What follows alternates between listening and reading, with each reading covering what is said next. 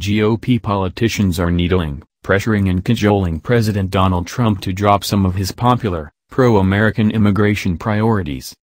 Trump is meeting today with a group of pro-amnesty Republican senators in the White House, including Senator Lindsey Graham, the GOP senator who put together the Gang of Eight amnesty in 2013 which split the GOP.